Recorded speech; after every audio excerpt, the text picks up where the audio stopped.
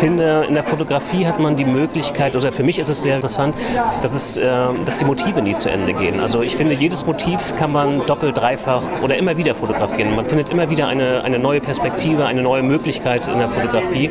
Und das macht es äh, für mich unheimlich spannend.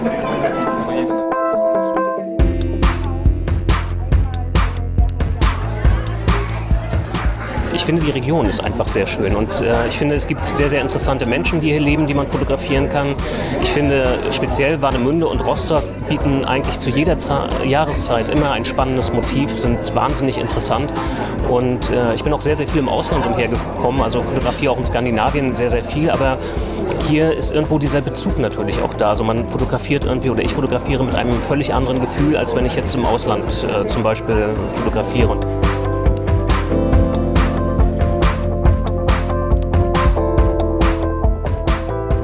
Das ist einfach eine moderne Form also des äh, ja, Marketings. Okay. Äh, Werbung des Standortes und gleichzeitig natürlich Werbung äh, für die Firmen, für den Standort, für die Kunst.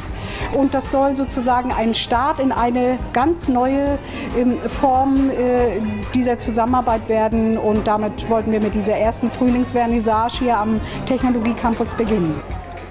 Wir wollen uns die Tage auch zusammensetzen und vielleicht das äh, Format noch ein bisschen verschönern. Äh, andere nennen das vielleicht jetzt auch so eine Art kleine ähm, Afterwork-Party, denn es ist ja sehr ungezwungen, locker und trotzdem kommt man super mit ganz vielen Unternehmern ins Gespräch.